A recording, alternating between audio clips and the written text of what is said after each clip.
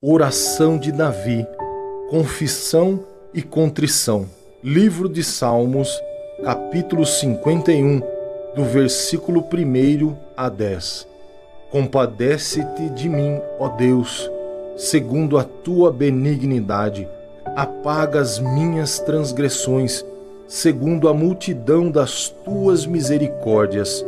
Lava-me completamente da minha iniquidade e purifica-me do meu pecado, pois eu conheço as minhas transgressões e o meu pecado está sempre diante de mim.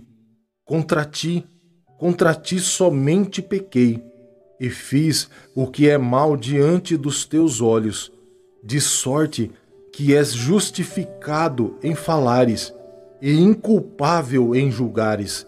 Eis que eu nasci em iniquidade e em pecado me concedeu minha mãe.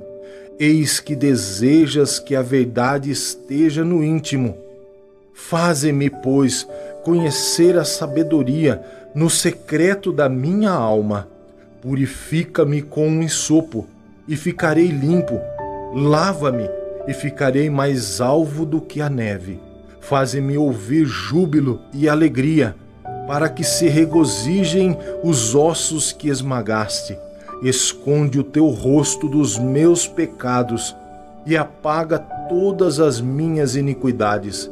Cria em mim, ó Deus, um coração puro e renova em mim um espírito estável.